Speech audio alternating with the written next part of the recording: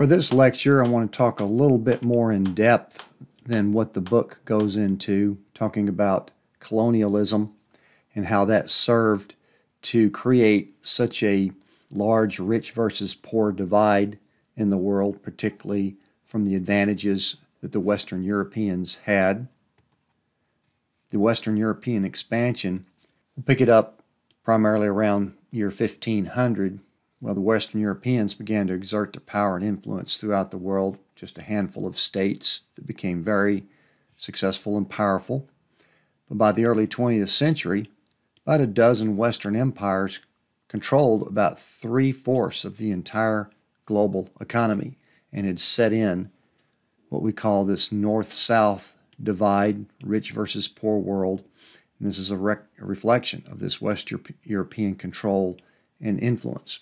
And even though this was a major reason as to why we have this in the world today, well, since the end of colonialism, we still see that the poor countries are having a hard time developing and can't be blamed on this colonial period to an extent that it used to. The, the further we go along and the states continue to have trouble developing, well, there's other reasons that are blocking them. And primarily, as we've already talked about, that centers around their political stability or lack of it. This period that we'll be talking about came in two basic phases colonization, we could say approximately 1500 to 1800. This is when the Western European states were becoming very competitive and very powerful, very innovative. They had lots of head starts that we'll talk about in being able to develop technology to make them more powerful. They also formed what were called these joint stock companies that were tasked to go out into the world and discover and to bring back resources back to the home country. This is through the process of mercantilism that we've already talked about. So they were exploiting the native resources and the labor from these areas where they would go in order to bring back that wealth to the home country. Then around 1800, up until around World War II, first of all, these joint stock companies had be, started to get fairly large, unwieldy, corrupt, bureaucratic. Even Adam Smith, one of the things that inspired him to write Wealth of Nations was these this mercantilist system of these joint stock corporations and how politicians had started to become stooges to these big, huge joint stock companies. So, what they did around this time is shifted gears and turned it into political control, where the colonies then became part of their empire. So they basically just took them over, appointed royal governors that would go down there and rule the native country. This is an example of how the British Empire extended around the world around World War I, and this doesn't even include their holdings that they had before American independence and things like that. But British Empire was the biggest, but wasn't the only one. Several other empires, whether it was Spanish, of course, had given up a lot of their territory prior to this, but French had had an empire, Germans had had an empire, the, the Danish, very successful empire. So there was competition for these Western, Western European states to go out and do this. Now, when you talk about what might be the most important innovation to humankind, you could probably answer that as farming. Because around 10,000 years ago, at the end of the Ice Age, humans had migrated all around the planet and had been started to get separated up into their own various cultures. But the domestication of plants and animals is probably the single most important innovation or development that resulted in modern civilization as we know it. Because once humans started to stick together in one place for a while using farming in order to um, survive, then we started to see communities start to develop. And as a result of these communities starting to develop, we started to see more intense populations, which required lots of other things to happen in order for them to coexist together and survive together. Know, population intensification also developed more immunities to diseases because of being around other people and other animals. Then, if you stayed and built a community through farming, then you would eventually build up surplus food that you could then trade, and then you'd have to figure out how to protect it and how to dole it out. So lots of other things started to come out out of this, political systems most importantly, and then specialization of labor started to build this community. Not everybody had to be farmers, so then therefore you could develop other occupations and other responsibilities and other jobs. Therefore, we start to see the beginnings of complex society, modern civilization as we know it. So that's very important development. Now, as we move ahead to around well, Middle Ages, we've talked a little bit already about how the modern state formed with the decline of feudalism. The Europeans, that's the primary advantage is that that's where the states actually, the first modern states formed, and they became very hyper competitive, very innovative, very powerful, able to successfully cooperate within their state and then use that for development. We were also looking at the Renaissance and the Reformation, which a lot of new ideas were coming about. But also in Europe, they had the proper climate zones for four seasons that would develop their agricultural industry. And as a result of that, lots of economic revolution that was geared around the agricultural industry, increases in production and, and work, crop rotation, able to trade these products. And then as a result, we build up the mercantile business community, which starts to take precedence as we start to merge into this system of, of capitalism starting to form. So these all centered there in the European region and started to give them tremendous advantages over the rest of the world, whether it's through the formation of these states, which then focused its uh, interests on building up their economic development that facilitated even more innovation, more competition, more conflict as well, as we've talked about, that resulted in several wars, as well as the Treaty of Westphalia that established the concept of sovereignty so that now we have these modern states.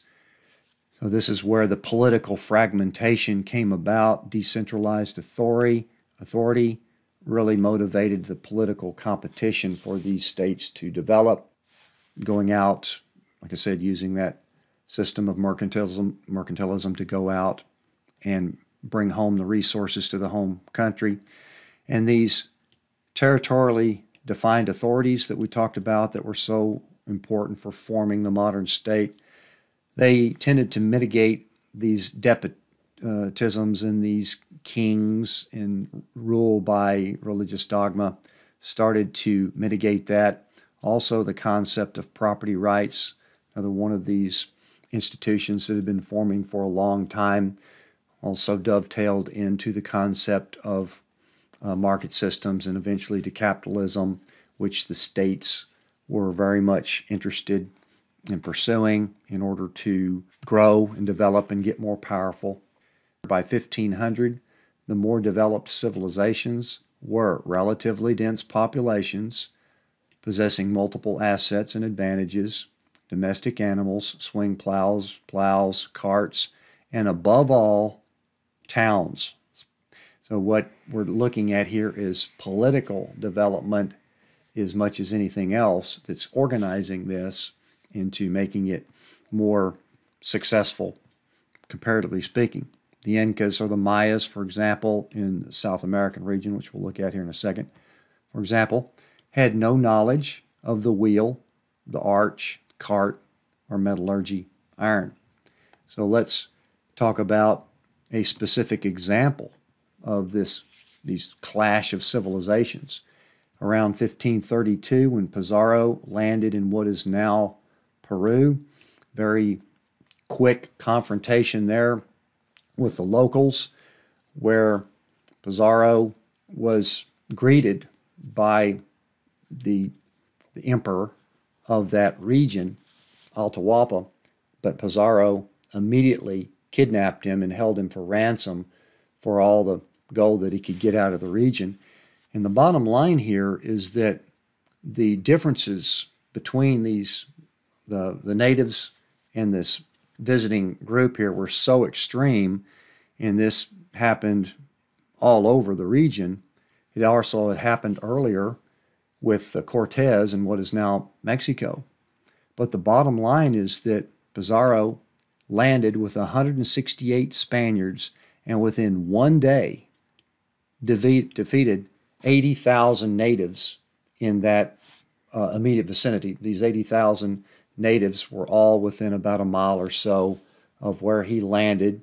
The Spaniards had enormous advantages. Of course, of all, they had the, the maritime technology that enabled them to sail across the ocean to come over there to look for things like gold and, and luxuries. They also had horses, which frightened the natives because the natives had never seen these big animals before. And perhaps most of all, they had steel, steel swords and armor. They literally sliced through the natives like butter when they were spending that day taking over that region. The natives were paralyzed literally after Atahualpa had been captured because, due to their religious or their particular superstitions, were raised to believe that he was somewhat of a deity or a, a god on earth. And, and when he was so easily captured, then they, they just were helpless.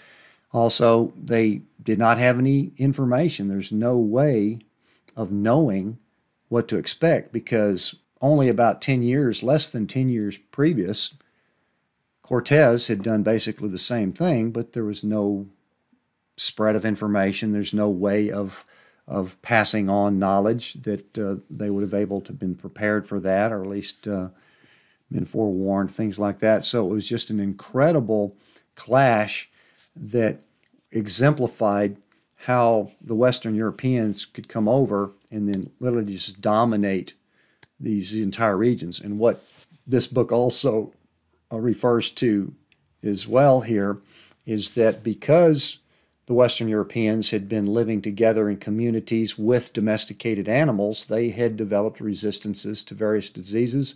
And the probably the single biggest threat to the natives were, was disease. There were many regions that were decimated, much as 80 to 90 percent of the entire population was wiped out by things such as smallpox. So the Europeans had advantages and were able to conquer the world as a result of these, but not necessarily because they were smarter, but because they could best take advantage of the principle that many heads are better than one. So the culture of any of these conquering nations of Europe, such as Britain, is in fact a greatest hits collection of inventions assembled across thousands of miles and years.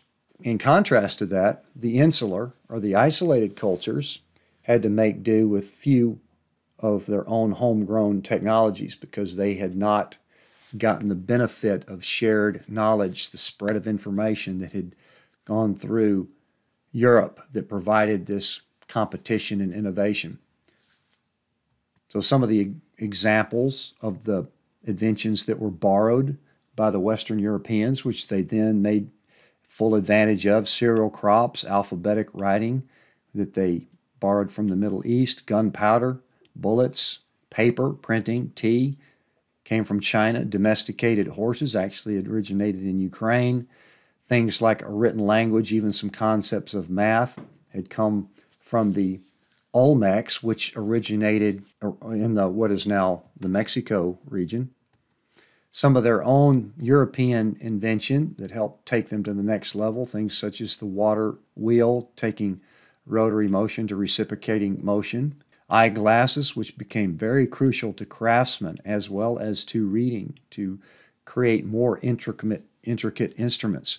The mechanical clock, you may not think that that's such a big deal, but once the clock became a standard piece of uh, equipment, then that brought more order and control and, and time and deadlines into making a more organized society even more productive. And then movable type. I don't think there's a whole lot of argument that the printing press invented um, around 14 mid 1400s or so is probably the single biggest invention in human history because of what it was able to do by delivering information, sharing of information, increasing the ability for more and more people to get knowledge in order to progress and compete with other people that are getting this knowledge as well. A few other things that were developing around that time, even when we look at the early state system and the transition to capitalism from feudalism, Judeo Christian values did seem to dovetail into that fairly conveniently. That because one of the things that was a concern by the early Enlightenment thinkers or the Renaissance thinkers is that when we start to move towards more enlightenment of self interest and letting the individual work to su- succeed and make, make money, well, there was the fear that the religious dogma that had been in control for so many centuries prior to that was going to be against that. Well, particularly with the Protestant Reformation, there was a little bit more preference for individual works. Once those transitions started to happen, the Judeo Christian work ethic started to give more emphasis protection to private property the idea, particularly after the Reformation, that earthly rulers are not free to do as they pleased, more respect for the manual labor of the individual to do a good job and get rewarded for it. And then this concept of a Protestant work ethic, more pride and value in this concept called good works of achievement, and then the calling. Once you are in an occupation, then that's that's your calling, and you are obligated to do well at it. Interesting quote here talking about how the Western Europeans came to dominate while the Dutch and the English were scouring the ends of the world for raw materials and markets.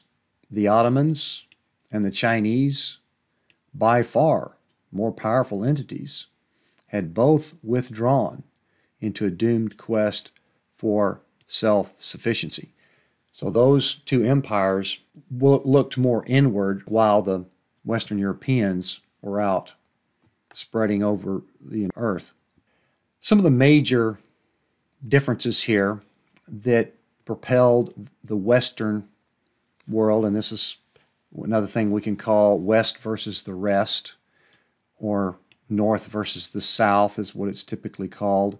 In our class, we'll just in today's context, we just call it rich versus poor because we've got a clear delineation between the couple of dozen or so richest countries in the world and then everybody else not not all that um, rich. So this concept of competition where once these regions became politically fragmented and because of some of these other motivations that I've talked about the ancestors of the modern business corporations came from that. With respect to the Renaissance and the Enlightenment period, there was massive scientific revolution during this period in that region. Major breakthroughs in math, astronomy, physics, chemistry, bio- biology, all centered around the scientific method, empirical inquiry. So it's uh, hard to even calculate how valuable that was in innovating and taking humanity to the next level, improving standards of living. Yes, we all want that. Unfortunately, these states that became so successful and so powerful, they kind of used that to go out and conquer the rest of the world. So uh, they kind of did it because they could, you know, we not looking at it here from the perspective of good, bad, right, or wrong. This is just how it happened. And now every other society in the entire world would like to emulate what they had discovered. Also, value of the rule of law, respect for rule of law and representative governments, again, based on private property rights and individual liberties. This is the central theme here of, of liberalism that came out of the Enlightenment period where human beings were starting to take it to the next level of trying to figure out how can we govern ourselves rather than have to deal with these these empires and these kings and this religious dogma. In addition, as we get closer to the 20th century, modern medicine made enormous breakthroughs in in the Western societies because of how much further uh, advanced and developed they were with their technology. In the consumer society is another advantage that because we are developing the capacity to make products that make our lives better, then we want to go out and buy those products. So that eventually led to the Industrial Revolution, probably the central, most prolific period of technological innovation in human history, and then increasing demand for more goods, cheaper goods that we can make cheaper, make more profitable, things like that. And then I've already talked about this, this work ethic that came out of the Western you know, expansionist societies and uh, intensive labor with higher savings rates. This is permitting more sustained capital accumu- uh, accumulation. Now, again, we're not saying what's right, wrong, good, or bad. We're saying what came out of the Western societies that helped to make them so successful in their development of higher standards of living for, for human beings that most other societies would like. For the next few chapters, we'll be talking about this North versus South difference or rich versus poor difference. The world average of GDP per capita is around 13,000 and there are a handful of very rich states that are dramatically higher than the world average. And then the overwhelming majority of most states are clearly below that average. So we'll be looking at that for the next uh, few lectures here, talking about the rich versus poor divide as well as what are the obstacles to economic development for the poor countries Summing it up here, Western capitalism, again, we're not saying what system is right, what system is wrong. We're just saying that comparatively speaking, the Western capitalism has been quite successful, and now we are seeing, as we've already talked about, the entire global system is moving towards capitalism pretty much by default because it has survived and has been relatively successful. So the typical claim is that Western ideals have been exported to the world by imperialism. Yes, some has to a degree. Globalization, yes, quite a bit so. Electronic media, most definitely. As we become more technologically advanced, we can communicate more of this around the world. But there is more to it than this. Western societies have been good at providing things that human beings want. They got there first. They did a pretty good job of making some things that a lot of human beings want. Just a few examples clean water, medicine to make us live longer, food so that we can survive, transportation, communication, nice clothes, nice cars, popular music, on and on and on and on. These things were developed by the Western societies because they could and because that's what people want. And then other cultures look at that and say, that looks like fun. That looks like a good idea. So there's profit to be made in appealing to global tastes. One of the reasons why it has continued to sustain itself. As far as long term sustainability, if we keep consuming resources, yes, we could consume ourselves into extin- extinction. So that also brings up other questions as to how this is going to play out, what societies might have to do to look at more sustainable or conservation type practices and how that might fit in to this Western capitalism. All right, so I wanted to just use this lecture to be able to expound a little bit on what is behind this rich versus poor world that we live in and how that kind of got locked into place pretty solidly to where hasn't changed much in the last half a century or longer. So then we're going to start talking about other things that the poor countries are having to deal with in order to try to develop.